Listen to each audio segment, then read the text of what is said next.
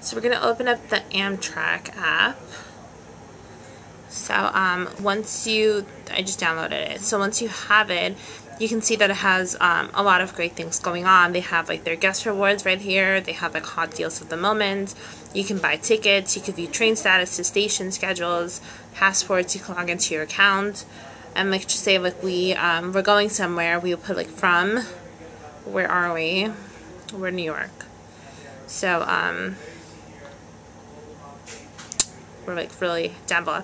So like you would you know you would search um, your location New York, New York. Is there one? They're New Jersey, right? So just pick like New Jersey for a second, Penn Station, and then wherever you put to, let's go to, um, where should we go? Ohio, Alliance, Ohio.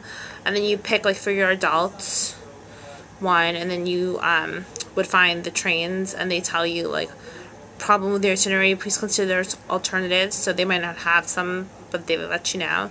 And then you could um, reserve a spot one of them is like $98, the other is 173 so obviously there's like a big difference.